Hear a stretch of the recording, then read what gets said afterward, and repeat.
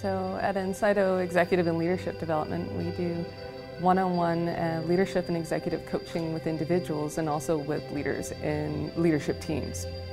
It's important to bring them together and elevate how they're leading collectively because if we're only working one-on-one with the leader, we're not really um, helping a whole leadership team elevate how they're leading collectively and there can be challenges that are a common theme amongst uh, a whole leadership team.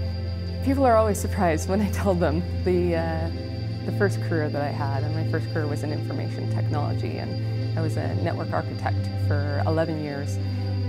And although I was gifted with understanding the technology and having lots of success in that career, I just I wasn't passionate about the technology. And I had to look at what were the things that I loved about the work that I did. And I loved partnering with the business on making decisions for the long term.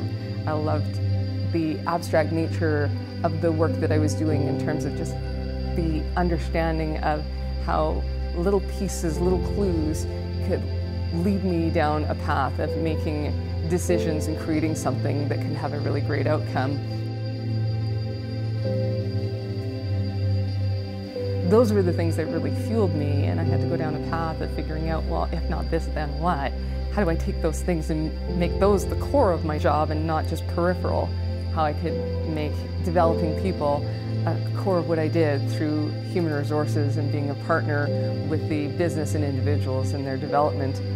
That led me ultimately to making a choice of leaving a career where I had a choice of opportunity and being fairly well known, being one of the few women in that career and coming to Mount Royal and uh, becoming a student for a couple of years to uh, go down an unknown path. And I'm so glad I did now get to do what I'm meant to do absolutely every day.